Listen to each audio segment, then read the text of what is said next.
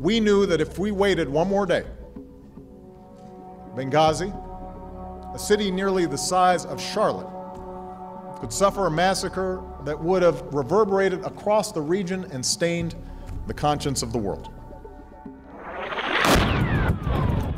Two years ago, fault lines traveled to Libya as US and NATO backed rebels fought to overthrow Muammar Gaddafi. It was the only direct US military intervention in the unrest that was sweeping the Arab world. Now, Benghazi is a byword for political scandal, an obsession of politicians and the media in Washington after the murder of an American ambassador in 2012. I cannot imagine sending folks out to Benghazi after what we saw from the security cameras and the drones. Mistakes were made. And I have said that what Benghazi is worse than Watergate. Meanwhile, on the ground, a country is unraveling, torn apart by the very militias the US and NATO helped to support. Fault Lines is here to find out what went wrong.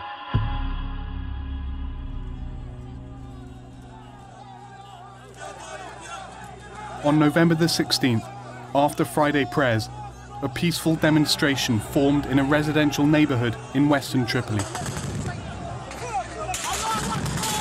Local residents were protesting against the armed militia presence in their neighborhood. They were met with machine gun fire. When the shooting stopped, dozens of people lay dead. Many more were injured.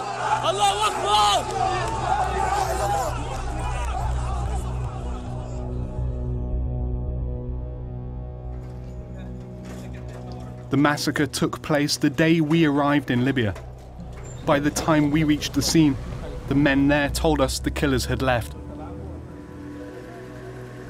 The militiamen who'd taken over the area were from the Libya Shield, a militia that was set up by the Libyan government last year, but was largely decommissioned after some of its members opened fire on anti-militia demonstrators in Benghazi in June 2013, killing more than 30 people.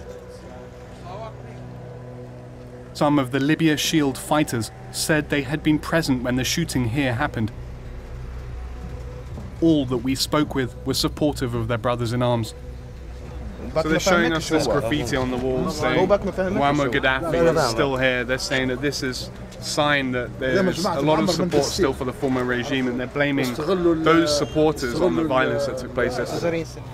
بالنسبة لنا احنا كاين عندنا اتفاق مع الحكومة طبعا إحنا قوة درع ليبيا مكلفين بشكل رسمي من الحكومة من قبل رئاسة الأركان بتأمين العاصمة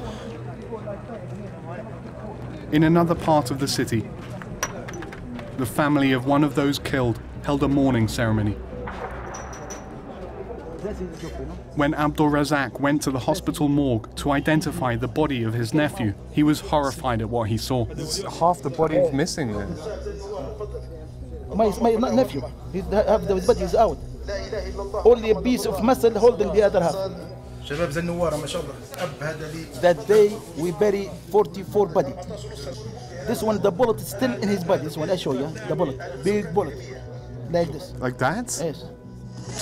If they come to mosque, we don't come for fight, we not for war. To ask them peacefully, leave Tripoli alone. There's people waving white flags. It's like we came with the flower and flags white and uh, uh, olive olive oil uh, branches. The whole Libya. Mm-hmm. You understand? To be really well united, we love each other. Mm-hmm. Doesn't, doesn't, doesn't matter from where you come from. Mm-hmm. From the desert, from uh, sea, from uh, east, west. We'd like to be like before. Strong and tight. We love each other.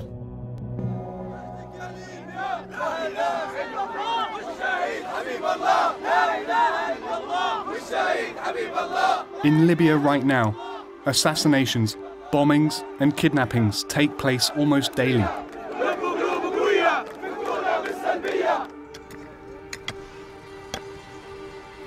Security is in the hands of heavily armed, mostly unregulated militias with various regional and political loyalties.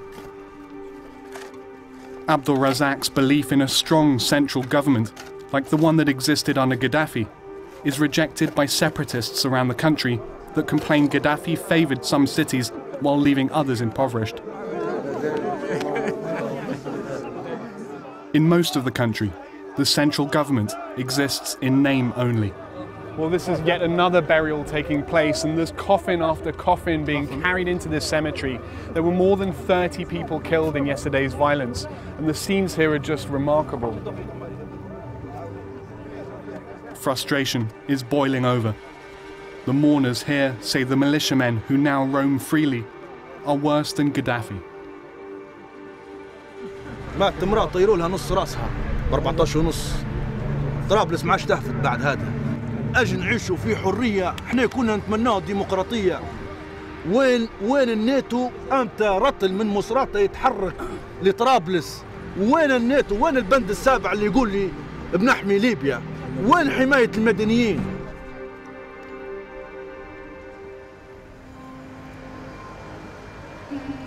The men who carried out the massacre were from Misrata,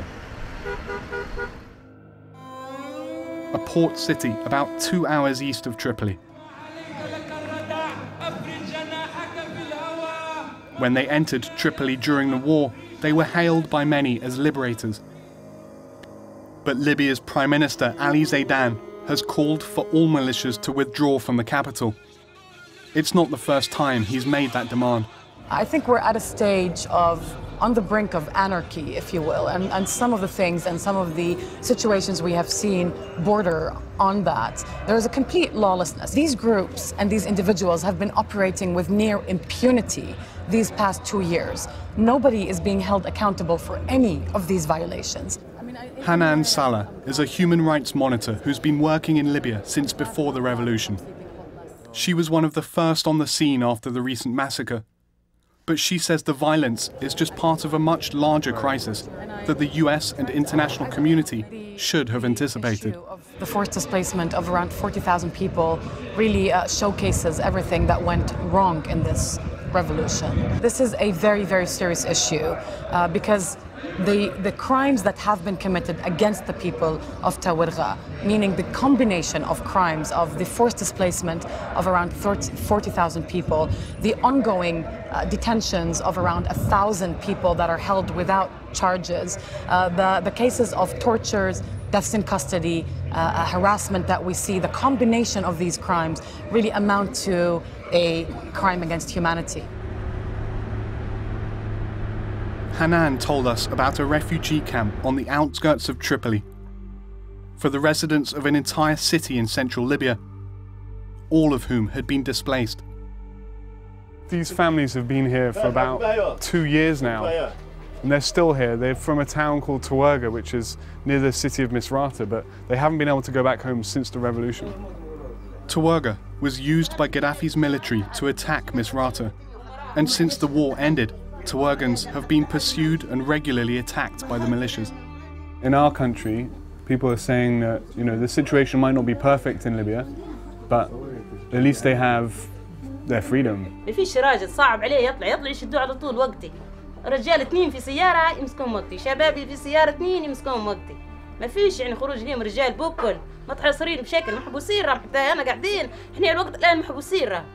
حين شاكل مجاريان علينا هدن الدبانة حق في ظن علينا. الماكلة شنو هي ماكلتنا؟ ناكلها ما هيش. في تعب في تعب. ناكلوا الضرب. علينا يبقى مرات تحط كشيكك بتنهض الكشيكك يصير ضرب تقفز. راجل بيقعمز بيتغدى ولا بيتعشى يقفز. معيشة مرة ورجالها وولدها وبنتها بالعشرين سنة يرقد مع أمه وباتها How many of these women know somebody that's been detained? She's had two of her relatives detained? Three.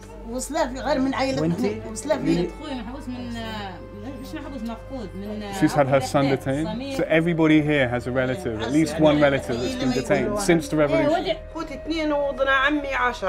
كلهم غادي محبوسين ولدي توا ناقلين لي شهرين What what happened with her son who's missing when when did he go missing واخدها من عندك التاريخ والله ما نعرفها يعني says here it's, I don't know the exact مفقود من سرت من سرت he was missing in Sirt in Sirt like how long ago like a year ago or من بداية الأحداث مفقود at the beginning of the event beginning of the revolution the beginning of the revolution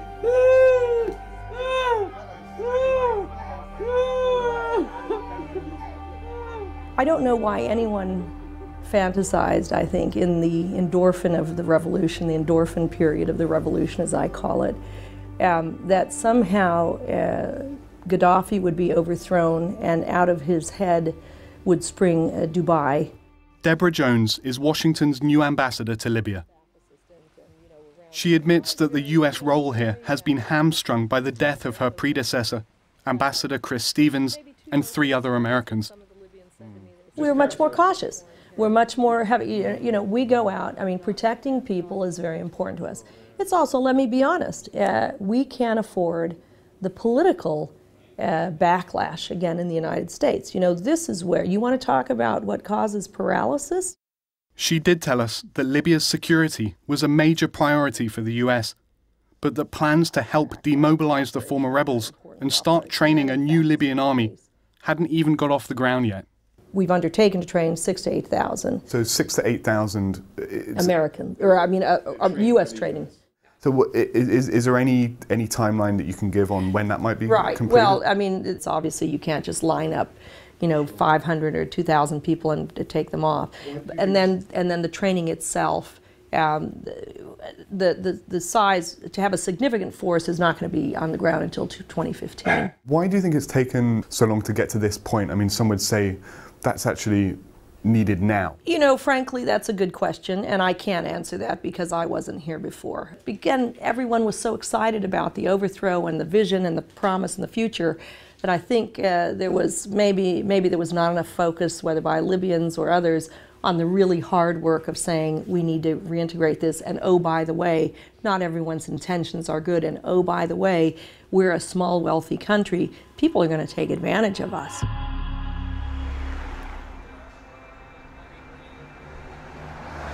Before dawn, Abdullah al Rakai leaves his house in Tripoli for prayers at the local mosque. Until October, it was a trip he made regularly with his father Mohammed, a man best known by his nom de guerre, Abu Anas al Libi. But on the morning of October the 5th, Abdullah overslept and his father went to prayers without him. What his father didn't know is that he was being watched his car being followed back through the darkened streets. A group of armed men had been tracking him for weeks. At 6:40 a.m., just as he arrived home, they took him. It's incredible. You can actually see American special forces grabbing Anas al-Libi, putting a hood over his head and putting him in a van, driving him away. The whole thing captured on these video cameras. Everything. The family's video of the raid shows three vehicles converging on the house, armed men pulling Al Libi from his car and bundling him into a van.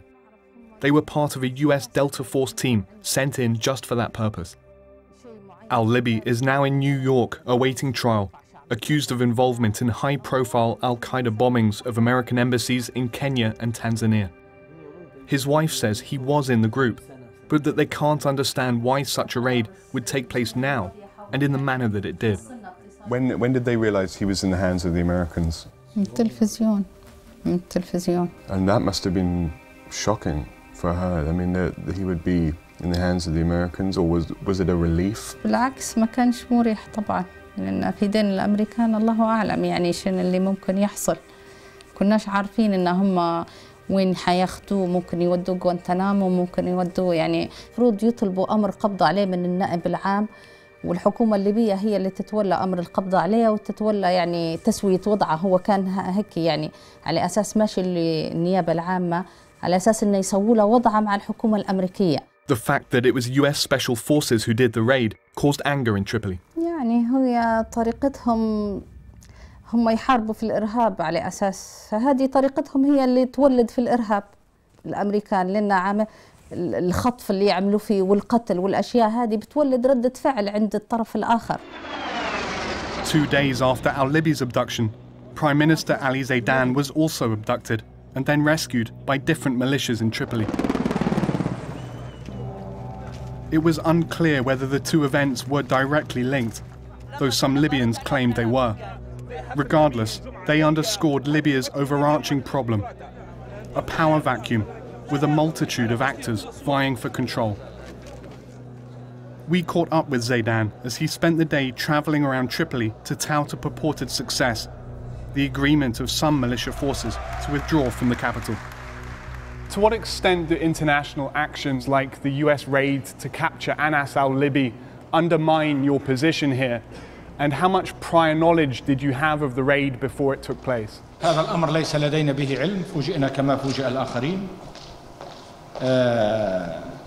بكل تأكيد أثر على كثير من المسائل وتحدثنا مع الجانب الأمريكي في هذا الموضوع وأوضحنا له وجهة نظرنا بجلاء بكل تأكيد هذا الفعل له تأثيره السلبي على I mean, Al-Libi is, is a wanted person and has been, you know, openly asked for by the United States, you know, and requested. I mean, there's a, he's not a, not a secret that he's one of those accused of this. But he's been living openly in Tripoli. For about a month. He came back, or for about a year he came back. So why couldn't you just follow the Really? And who would we ask that for? What, what government? We're building capacity here right now. That's what I'm telling you. We are in the process of helping the Libyan government build the kind of capacity that would enable them. Let me ask you a question then. Why, if they had that capacity, they are very well aware of criminal actions in Benghazi. Where has that gone? Prime Minister's been quite vocal about the extent to which the raid to capture Anas al-Libi actually undermined his position and created problems for him. This is a man who's been wanted since 1998 uh, for killing large numbers of people, including some of my colleagues and friends. Uh, so to bring him to justice, rather, you know, we, this was not a. People have said to me, "Why didn't you uh, use a, a Libyan militia to do it?" And I said, because the whole point was to bring him alive. That's Libya's dilemma. Militias affiliated with the central government have been accused by the UN of torturing their prisoners to death but each time the government has ordered the militias to withdraw from the streets, it's invited them back as lawlessness spreads. But such dependence has lasting consequences. We visited one of Tripoli's largest prisons to see just how widespread torture is His, yeah, his foot is still broken till now. His foot is broken? Yeah. How, how did it happen? حصل ازاي هذا التعذيب الضرب It's because of the torture they were beating me مش في المكان هذا They weren't beating me here. كان في مكان في بوسليم ثاني They were beating me in, a, in another prison, Buslim prison. ايه تعرضت للتعذيب أكثر من مرة. I was I was tortured more than once. He was being interrogated? ده خلال التحقيق ولا؟ إيه تحقيق تعترف على شيء ما درتهاش ولا بت Yeah, they were they were they were forced uh, interrogations. And what, what methods of torture were they using? What, what were they doing to him? بس بشاعة قصدي تو أنا لو بنحكي لك انتبه موضوع بروحها أنا بالنسبة للسجن هذا وسجن عين زهره ما تعذبتش فيه تعذبت في جهات ثانية رفعوني من هنا في في 2011 باهي وفي 2012 شهر 11 2012 رفعوني لجهه ثانية مش من السجن هذا السجن آه كنت في السجن الثاني هو عن زهره جو رفعوني قعدت 28 يوم تعذيب Do other people have similar stories to him in other prisons? ورينا كده طبعا الان يمشي بالعلاج يا أستاذ ما ياخذش What's that what's that injury from? من إيه الكهرباء ضي هذا Well, the prisoners in this cell say some of them have been here for two years now without seeing a judge or going to court or even being able to see a lawyer. More than 8,000 prisoners remain in Libyan jails since the beginning of the revolution. Most held by militias who don't answer to the government at all. These three men, all from Tawergha, had experienced torture while held by such a militia. الدولة ضعيفة والميليشيات هي الأقوى في ليبيا حاليا ما فلهذا مش حتوقف ما فيش ديمقراطية ديمقراطية اللي مخلتنا احنا عايشين العيشة هذه ما هي ديمقراطية الديمقراطية اللي صغار تورغة يموتوا فيها ما هي ديمقراطية الديمقراطية اللي اللي فيها الاعتقال على الهوية ما هي ديمقراطية Are they worried about being detained again? أنا متوقع إني نحبس في وقت اللي تورغة وبعدين حتى التورغة اللي نحبسوا قبلي وماتوا برنامج زي مو مش خير مني While some militias appear largely focused on score settling, others have set their sights on bigger prizes. Eastern Libya is where the rebels first found widespread support in their battle against Gaddafi. It's also where much of the country's oil wealth originates and is exported. but many here say the region has been historically neglected. So the security forces that protect these terminals defected to Ibrahim al-Jadran a few months ago, and since then they've effectively shut down oil exports across eastern Libya This commander and his men still wear uniforms that are marked Libyan Army. إقليم برقة سبب كل حقوق إقليم برقة بالكامل خاطئ إن النفط مثلا يباع من غير عدادات الإقليم بروحه ما شاف شيء ما شاف من حقوقه شيء كله صبت نهضة للإقليم وفي النهاية بكل تراب الوطن ما تقدرش انك تستغنى عنه تقول لا انا مش راح نتدخل في الشيء هذا الوقت الحالي. I mean they've been through all this fighting before they're ready to to fight again. من اجل الموضوع والمبدا القضيه اللي قاعدين عليها ما فيش مشكله. The man who runs this militia now appears to have a stranglehold on an estimated 50% of Libya's oil wealth.